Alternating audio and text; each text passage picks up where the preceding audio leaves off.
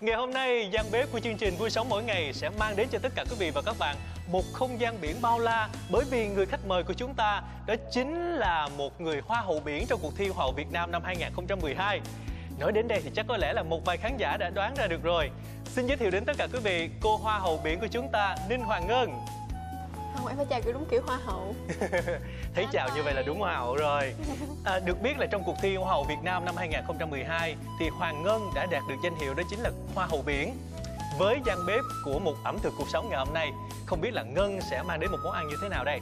à, Hôm nay thì Ngân sẽ chọn à, rong biển bởi vì Ngân thích ăn rong biển Và bên cạnh đó thì Ngân sẽ chia sẻ với mọi người món canh rong biển và thịt gà bởi vì trong một dịp à, mẹ Ngân à, bị bệnh á, thì Ngân phải vào bếp và Ngân phải chọn một món ăn mà vừa thanh mát mà vừa bổ dưỡng và giúp bồi bổ cho sức khỏe của người bệnh thật là tốt.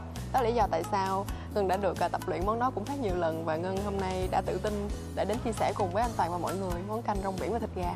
Trước tiên nếu như mà Toàn làm giám khảo thì Toàn sẽ cho Ngân 10 điểm là bởi vì rất là hiếu thảo.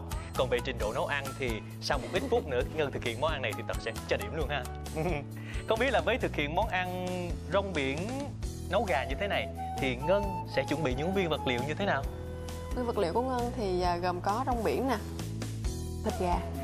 Chúng ta có nấm, cà rốt nè, có kỹ tử, hạt Ừ. sen và gia vị. À, đầu tiên thì mình sẽ ngâm rong biển như anh Toàn thấy nè, Ngân đã ngâm, ngâm sẵn một thố để cho rong biển mềm ra. Sau đó thì mình à, cắt thịt gà và mình à, đun sôi một một tí nước vừa thôi để mình có thể à, làm cho hạt sen mềm ra trước. Với hạt sen như thế này thì Hoàng Ngân chọn là hạt sen tươi hay là sen khô? Ngân sẽ chọn hạt sen tươi bởi vì hạt sen tươi sẽ ngon hơn Ừ. và Ngân tách bỏ tim sen á để làm cho mình khỏi khỏi cái vị đắng. Sau đó thì mình Chu sẽ chu món ăn rất là ngon. À, rong biển thì rất là mát và tốt cho sức khỏe. Bên cạnh đó thì theo như Ngân biết thì rong biển có rất là nhiều protein và các vitamin tốt cho sức khỏe của người bình thường và đặc biệt là cho người bệnh nữa. Hèn chi là Ngân mới thực hiện món ăn này cho mẹ của mình đúng không nào? Dạ. Tại sao mình lại cho hạt sen vào trước mà không cho gà vào hả Ngân ha? Bởi vì hạt sen cần thời gian để có thể nở ra và khi hạt sen nở mềm á thì chúng ta sẽ thưởng thức món ăn được ngon hơn. Vậy mà Ngân chia sẻ là khi mà Ngân thực hiện cái ờ, bài về thời trang về biển á Ừ. thì biên tập chương trình á cũng có mời Ngân để thực hiện cái chương trình này nhưng mà Ngân nói là thôi ngại lắm bởi vì em nấu ăn không có giỏi lắm nhưng mà sao hôm nay lại có cảm giác rất là rành như thế này À, sau một thời gian thì mình cũng phải tiến bộ được chút chút với anh Toàn. Ngân có một vài món tủ thôi chứ thực ra thì Ngân cũng ờ, chưa phải ờ, gọi là một người nội trợ đích thực được nhưng mà Ngân sẽ học dần dần. Và đặc biệt là nấu cho gia đình thì lúc nào mình cũng có cái động lực để mình có thể học hỏi và nấu ngon hơn. Món này có phải là món tủ không mà à, hơi tủ tủ chút xíu rồi mình sẽ để hạt sen tầm khoảng từ 5 đến 10 phút thôi. Khi mà hạt sen chìm xuống như thế này á có nghĩa là mình đã có thể cho tiếp gia vị gà vào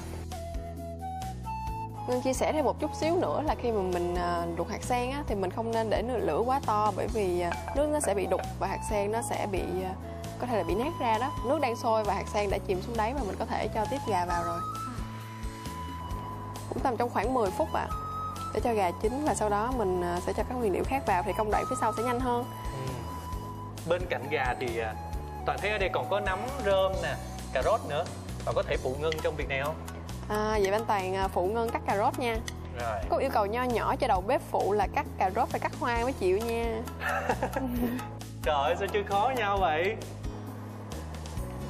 Với nấm rơm này thì mình để nguyên củ như vậy hay là cắt ra làm đôi hả Ngân? À, nấm rơm thì Ngân sẽ cắt đôi ra Cùng lúc với việc cho gà vào thì Ngân sẽ cho kỹ tử vào trước bởi vì kỹ tử cũng cần thời gian để chín lâu hơn. Có thể nói kỹ tử và hạt sen cũng là một vị thuốc rất, là tốt cho sức khỏe anh Toàn. Theo yêu cầu của Ngân thì Toàn cắt thành bông hoa rồi, không biết là có được không? À, cô giáo chấm điểm bông hoa này đẹp rồi đó. Cô giáo thì cũng dễ tính ha Ừ. Sử dụng rong biển như thế này thì à, gà nó chín rồi chúng ta mới cho vào luôn hả Ngân? À, rong biển mình sẽ cho vào cuối cùng nha anh Toàn. Bởi vì rong biển rất là dễ chín và mình có thể ăn ăn ngay sau khi sau khi nước sôi lên thì rong biển sẽ có cái vị vị thanh của nó. Ừ. Có nghĩa là nước sôi vào thì chúng ta cho rong biển vào là múc ra là có thể dùng được rồi. Đúng rồi. Quá hay. Trước giờ thì Toàn cứ nghĩ là hoa hậu thì không biết làm gì hết Chỉ biết làm đẹp thôi nhưng mà hôm nay thấy Ngân cũng nấu ăn cũng giỏi quá. Vậy là chắc là suy nghĩ của Toàn đã bị sai rồi đúng không ạ? mình phải làm đẹp cả bên trong lẫn bên ngoài chứ anh toàn. Hương chia sẻ thêm một xí là khi nấu ăn á, thì à, canh sôi lên thì mình sẽ vớt bọt ra thì sẽ dùng cho nước trong và cái nồi canh của mình sẽ đẹp mắt hơn canh đã sôi được anh toàn. Bây giờ thì mình sẽ bỏ nấm và cà rốt vô.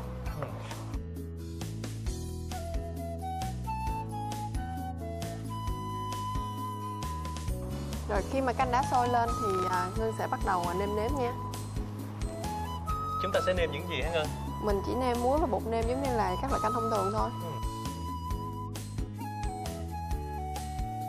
Trong thời gian đó thì mình cũng sẽ ờ, chắc nước của rong biển ra vì rong biển mình cho vào sau cùng với món ăn này thì không biết là nấu với thịt gà hay là chúng ta có thể kết hợp với những cái loại khác không hả ngân món canh gà của mình á, thì cũng khá nhiều gia vị thanh đạm cho nên mình cũng hoàn toàn có thể trở thành một món canh chay luôn á nếu mà không có thịt gà Nếu như mà muốn ăn chay thì tất cả quý vị và các bạn chúng ta cũng có thể nấu rong biển cùng với những loại nấm và cà rốt thì chúng ta đã cũng đã có được đầy đủ dinh dưỡng rồi, không cần phải cho thịt gà đâu. Giờ thì 10 phút đã trôi qua, không biết là Toàn đã được thưởng thức chưa hả Ngân?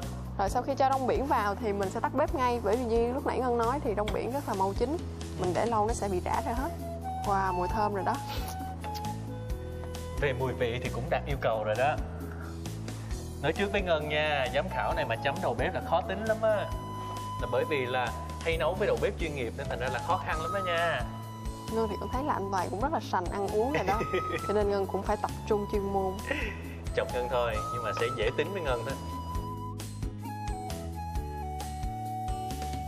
Vì lúc nãy mà Ngân giao cho Toàn cái nhiệm vụ là trang trí đó Thành ra Toàn sẽ làm một cái công đoạn khó nhất trong việc nấu ăn. Đó chính là rắc hành ngò lên trên. Xong. Việc này khó lắm mà nha, anh mới làm được đó nha.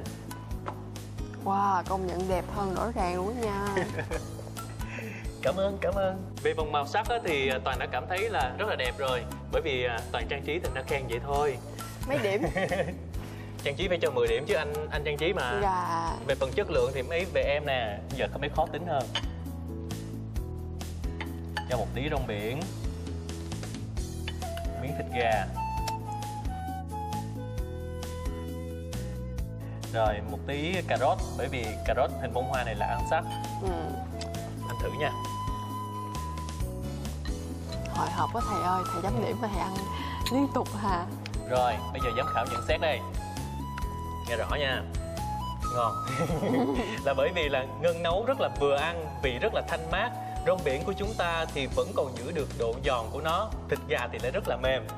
Nói chung là toàn thích món ăn này quá rồi sao giờ? Wow, nói chung là không có gì để chê phải không? Đúng rồi. Một lần nữa cảm ơn Hoàng Ngân đã tham gia chương trình Vui Sống Mỗi Ngày và giới thiệu một món ăn rất là ngon. Đó chính là rong biển nấu canh gà như thế này. Mình cũng cảm ơn anh Toàn đã à, phụ bếp cho Ngân trong ngày hôm nay. Và cảm ơn quý vị khán giả. Chúc mọi người sẽ có một món ăn ngon cùng với gia đình Thưa tất cả quý vị, nếu như một người nội trợ của chúng ta bên cạnh một món ăn ngon mà đặt nhiều tâm tư và tình cảm trong đó thì sẽ mang đến những điều rất là thú vị bất ngờ. Chúng tôi vừa giới thiệu đến tất cả quý vị món canh gà rong biển. Hy vọng đây sẽ là một món ăn bổ sung vào thực đơn của tất cả quý vị. Đến đây thì chúng tôi xin được nói lời chào tạm biệt. Tất cả quý vị nếu như có những đóng góp ý kiến hoặc những món ăn độc đáo mới lạ, có thể gửi email về địa chỉ vui sống mỗi ngày a chu thị.com.vn. Còn bây giờ, xin được nói lời chào tạm biệt và hẹn gặp lại trong chương trình tiếp theo.